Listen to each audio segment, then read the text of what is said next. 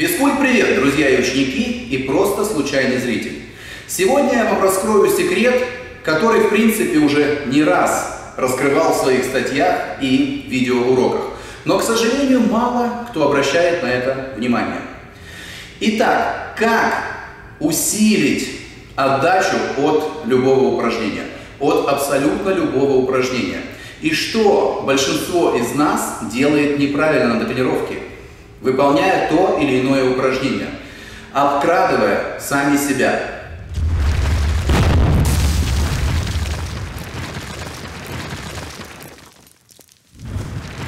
Итак, друзья, речь пойдет о негативной фазе выполнения упражнения. То есть, если возьмем жим лежа, когда вы опускаете вес на себя, это и есть негативная фаза. Позитивная, когда вы отжимаете.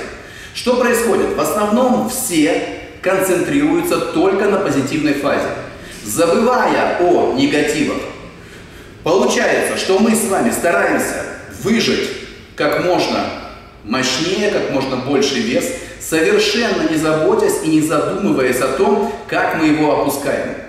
А я не раз уже говорил, и это не я придумал, это говорит спортивная наука, что для мышц в плане роста и силы гораздо важнее негативная фаза тренинга. Кстати, существуют даже такие специальные тренировки, когда вам позитивную фазу помогают преодолеть партнеры, а вы работаете чисто в негативах, подконтрольно опуская вес, медленно. Что происходит по факту в тренажерных залах?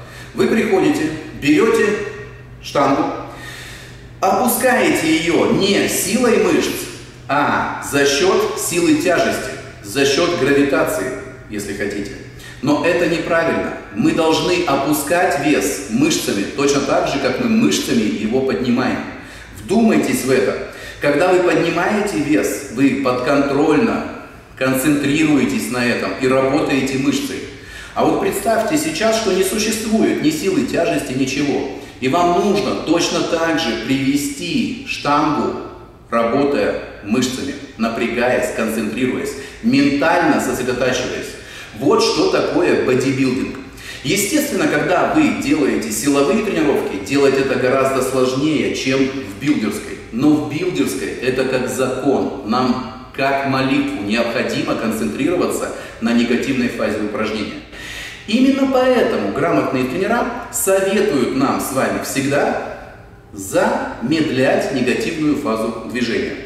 То есть, если вы выжимаете вес на раз-два, то опускать вес нужно на раз, два, три, четыре, пять. Это с большей гарантией даст вам подконтрольное опускание веса именно за счет мышц. Вы хотя бы будете немножечко сопротивляться.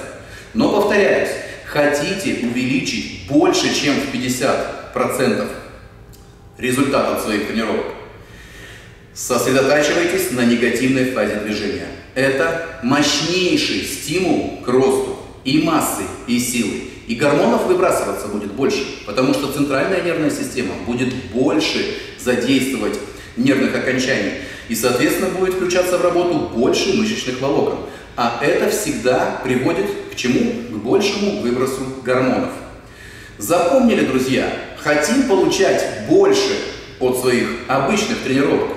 Всего-навсего нужно замедлить и сделать негативную фазу движения абсолютно полностью подконтрольной, работая мышцами, а не за счет силы тяжести. Надеюсь, это видео было вам полезно. Пишите, что вы думаете об этом. Если вы это все знали, большой вам респект. И, как всегда, не забывайте поделиться этим видео с друзьями. Все мы должны с вами грамотно тренироваться, потому что мы братья по железному движению. А в следующий раз я вам расскажу, почему не работает спортивное питание и как заставить его работать. Увидимся в тренажерном зале, друзья. Всем силы и сухой мышечной массы.